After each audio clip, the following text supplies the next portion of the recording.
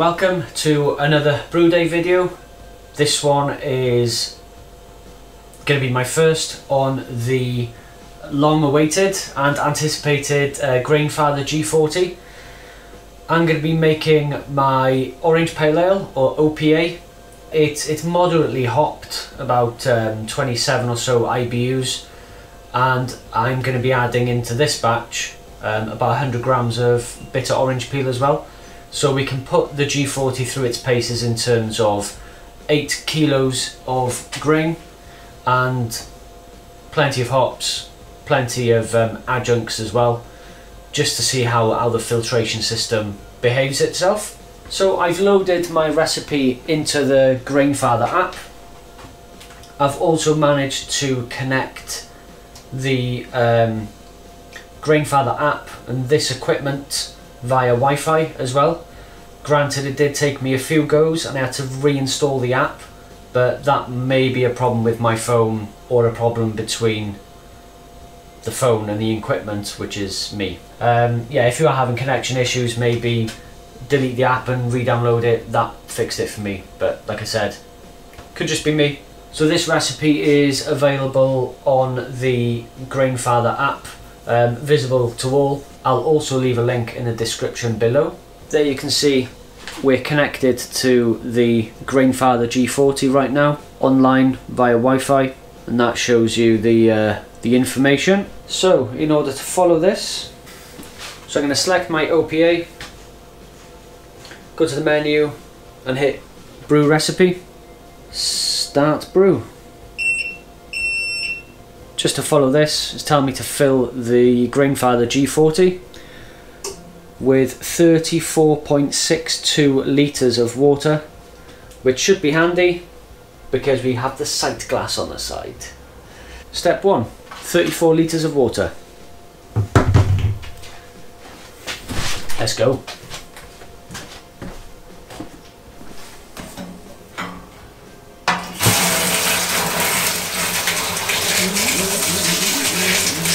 That's approximately 34.6. Don't know if you can see that there, but uh, and then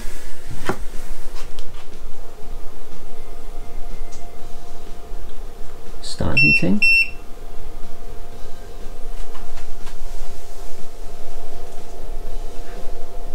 So it's ramping temp, target 69 degrees. Looking good. Right, let's weigh out the grains. So we're just a, a few minutes in, already at um, 30.5 degrees, it's very accurate. I've put the lid on as well, see if it'll warm up quicker. It's very strange having, uh, was it, seven and a half kilos of pale malt and half kilo of Cara Gold. I forgot to mention as well, I'm doing a 40 litre batch. The equipment profile, it says 40 litre pre-boil volume.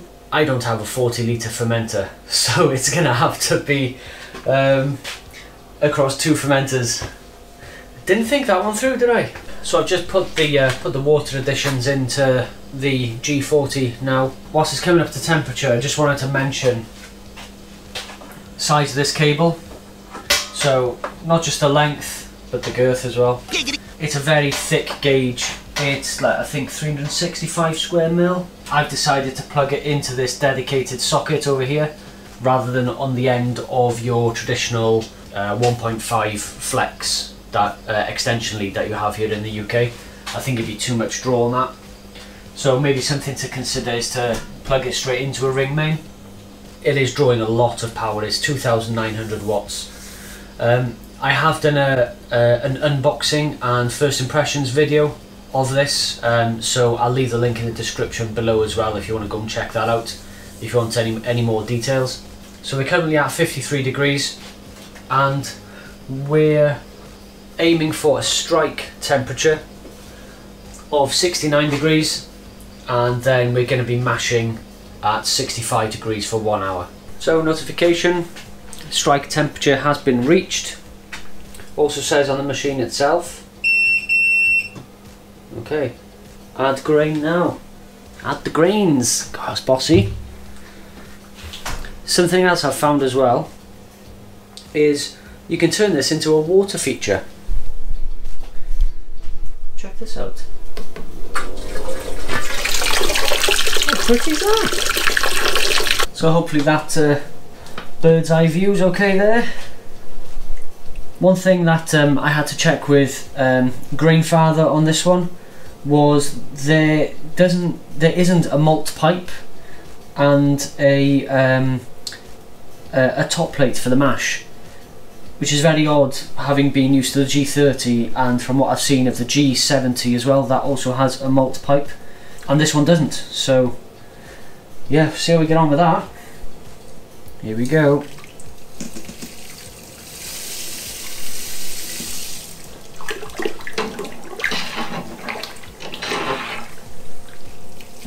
Finished mashing in now the 8 kilos of grain. It's a very loose consistency and I think this is probably all to do with not having the malt pipe and the um, top plate so it allows the grain to um, freely move around the grain basket. And the grain basket has got um, perforated holes down the sides as well as uh, as well as the bottom. Let's uh, kick this into recirculation. Just to confirm does say insert the assembled grain basket then slowly add grain and stir well attach the recirculation hose then start mash when ready. So no top plate needed. So recirculation hose. And this just fits into the grommet on this side.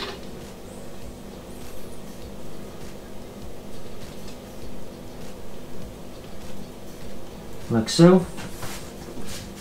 And then start mash. The pump is about to turn on to recirculate water during the mash. Please make sure the mash, mash basket is in place and recirculation hose is attached. Okay, don't show me that again. And away we go. It's whirlpooling the mash. Crikey days. That's got some power to it. We've just finished the mash. Got the sparge tank uh, ready uh, it's maxed out at 18 litres, that's how much sparge water we need. And now it's time to lift the grain basket. So to recap, this is 8 kilos of grain with a load of water sat on top. That's probably my error. Uh, it does say in on the app to have it about an inch above the grain but uh, yeah, my oversight. I'll remove this.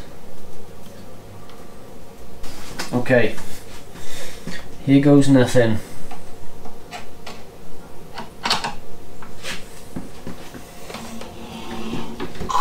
Crumbs. That's heavy.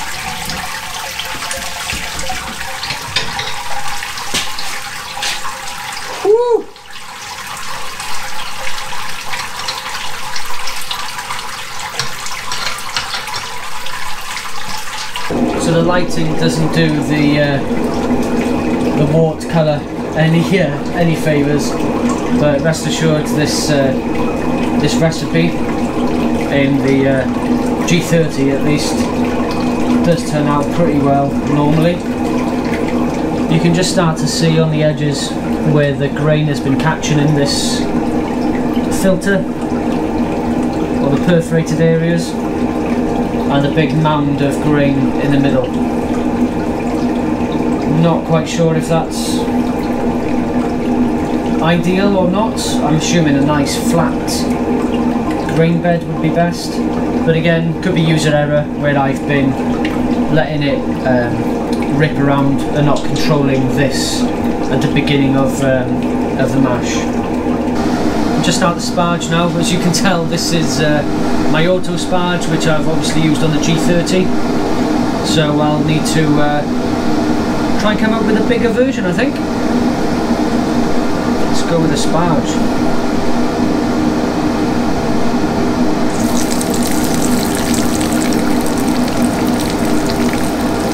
What I'll do, I'll just keep turning this basket periodically just to try and get as even spread as I can. So we've now completed the sparge and you might be able to see from that angle um, just around the edges here we are at the absolute limit because um, the grain basket is very, very nearly touching uh, the wort inside. We currently have pre-boil volume bang on 45 litres so I'm assuming it's going to be a 5 litres per hour boil off rate which I think the G30 was 3 litres per hour just an assumption but we'll uh, we'll test that out. Just going to leave this for another five minutes and then ramp this right up to boil and take some readings.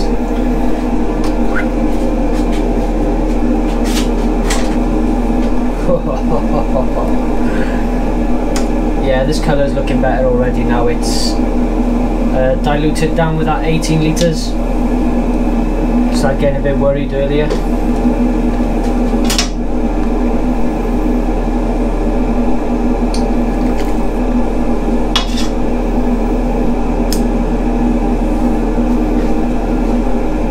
So our pre-boil gravity is 1.04344. So we'll ramp this up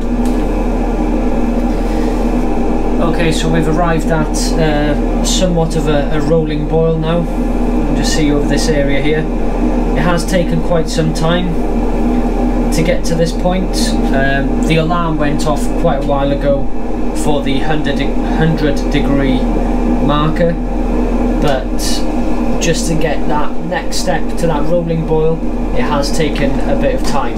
Um, I'm not expecting a, a massive um, hot break foam over. Because of the surface um, area I don't think we're going to get that sudden surge creeping up. Yeah we're boiling. So I'm going to chuck 15 grams of Galaxy in and start the timer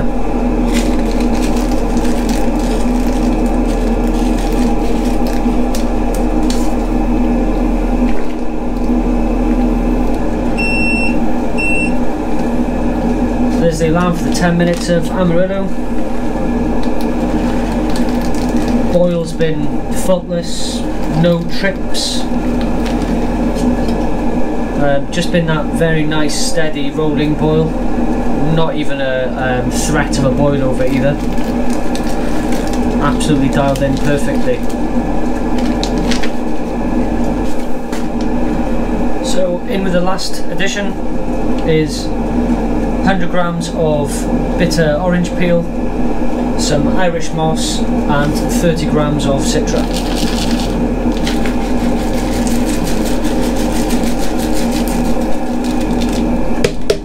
Yeah baby!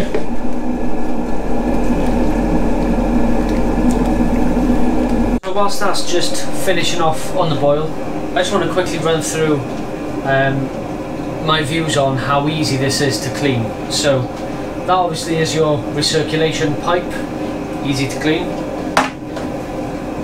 And the mash element is just these two. This one fits sideways like that in a standard size sink, so it's very easy to, to clean. And obviously the, the plate itself is quite easy.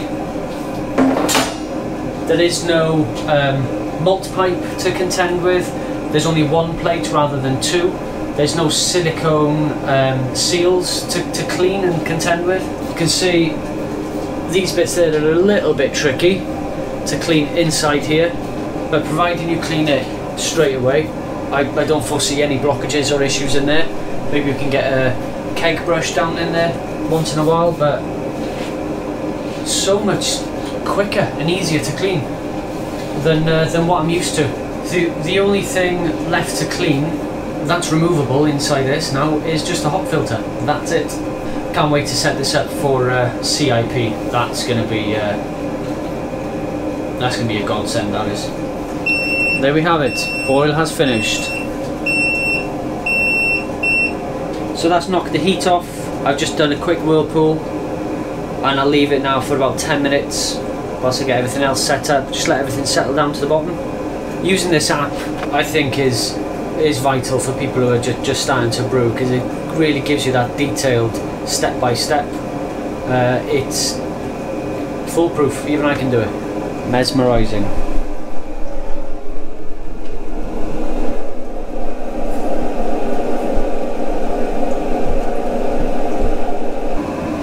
So with this, um, that is the, uh, the the like a hose a hose barb which fits into the grommet on this side, the same place that the recirculation arm was, recirculation pipe, excuse me.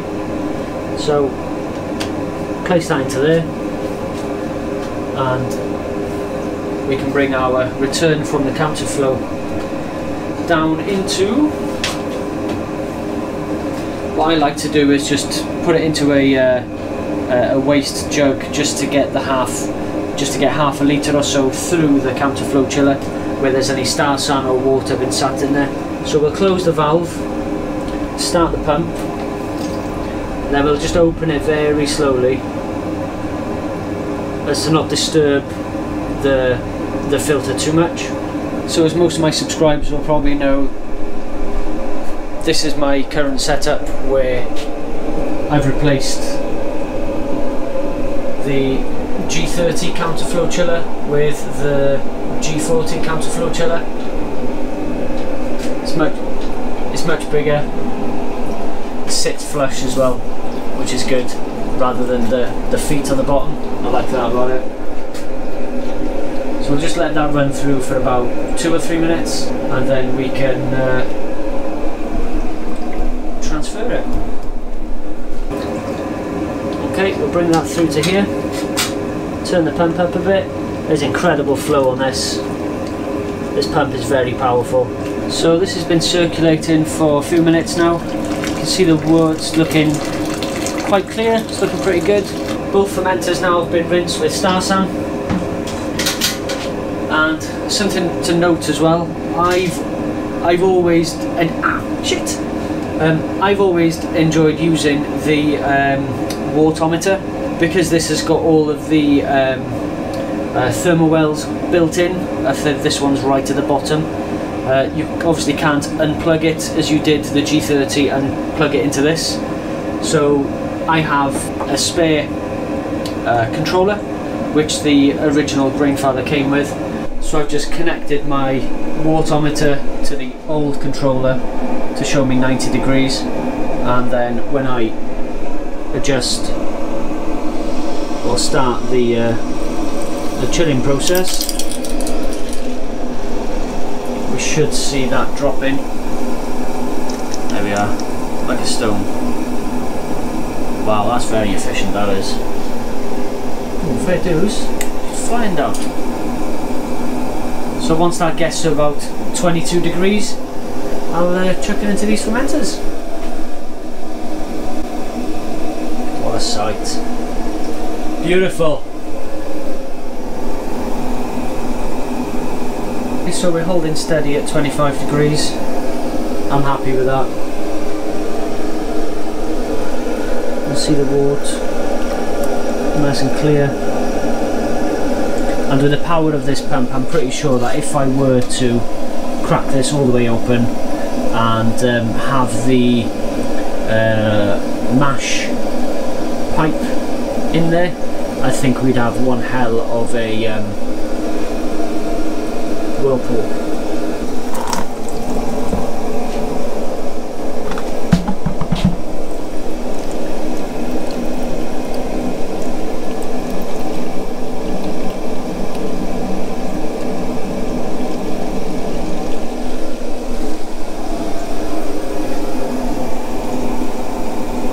Little sample of the wort here.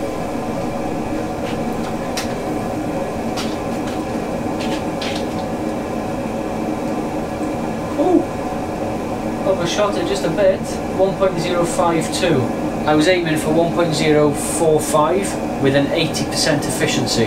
Wow. So there we have it. We have 20 litres in this fermenter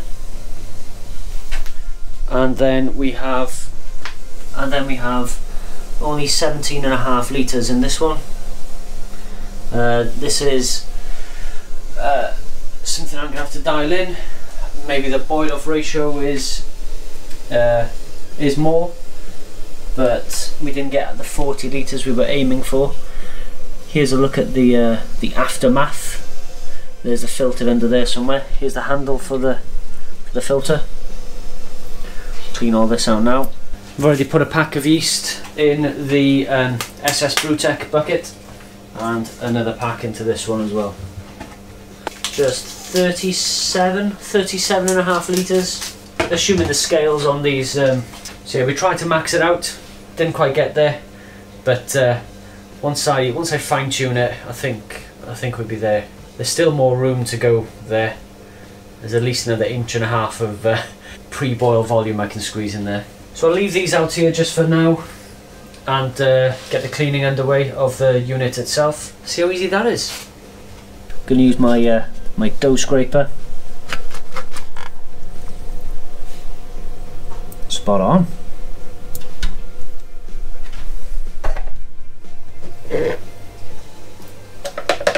Authority of the uh, the hop and the orange peel out. Just lift up the filter. Ooh, nice sound.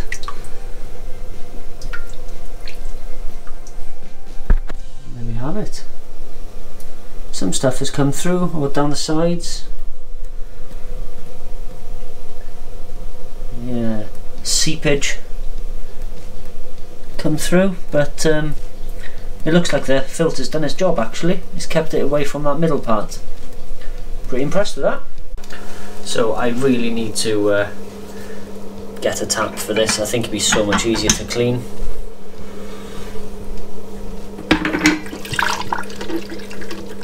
Highly recommend getting a tap for it.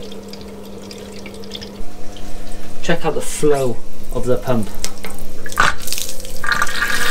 Look at that.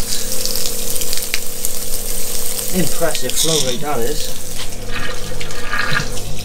See it creating its own vortex. Whoosh!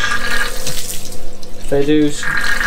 So that just about wraps it up for me. I've just got my um, cleaning fluid recirculating, then I'll put that back into one of the buckets and rinse it with Starsan and there we go, job done.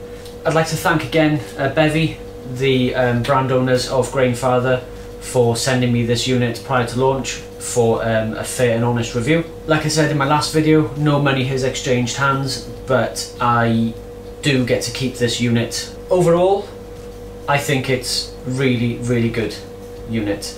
Value for money, it's currently RRP at that much in the UK. I don't currently have any, any figures the brew itself, I've got some learning uh, to do on the machine. Like I said, all I've all I've brewed on is that G30. I've never brewed on anything else. I think it went pretty smoothly. Very easy to clean, apart from the loop around the outside where the grain basket sits on and hooks onto whilst whilst you're mashing. I can't see that that's easily removable to clean behind it. Now there is a nut which holds it in place you, you start to take the machine apart in order to clean behind it. So I think that maybe maybe I'm missing a trick, maybe there's an easier way to get that out other than taking that nut off. But currently I can't find a way. With the G30 you just click it out and clean it and click it back in. Because a lot of grain can get stuck in that groove all the way around. And the other thing I wanted to mention as well is the uh, drain off point or where there should be a tap or a valve I think it should come as standard because you're always going to want to take that nut off to blast out the uh, the bottom of the um, the conical element of it. But other than that, it's been absolutely faultless. Yes, I overshot my numbers because I didn't get enough enough wort in there. But I used the Grainfather calculator and maybe that just needs fine tuning for, for, for my boil off rate. So I really hope that this video has helped anyone who are um, considering purchasing the G40. If you are considering buying the S40, head over to Richard at Dudes Brews. Um, he's putting a couple of videos out on that version as well, so that'll be good to watch. So the next brew day with this, I'm thinking of doing a small batch. So I've gone from the aiming for the 40 litre. I'm going to be doing a 10 litre batch, but I'm going to be going for something very high ABV. Uh, it's it's coming into winter now as well, so that'll be perfect for Christmas time drinking beer.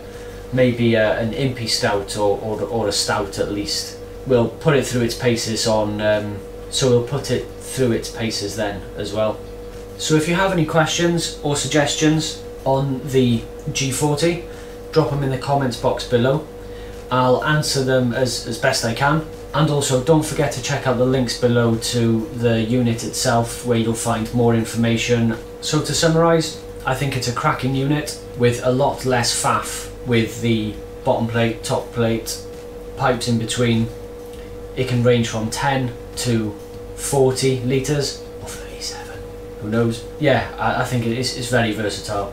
It's, it's not for anyone who are struggling for space. Obviously that is definitely with the, the G30's remit. This is a, a pretty big unit, really well designed, apart from the aforementioned points. So guys, that's all from me. Don't forget to subscribe and hit that bell icon to be notified when I send out the next video. We've got a few in the pipeline and a few planned. I suppose I'll see you on the next one. Diolch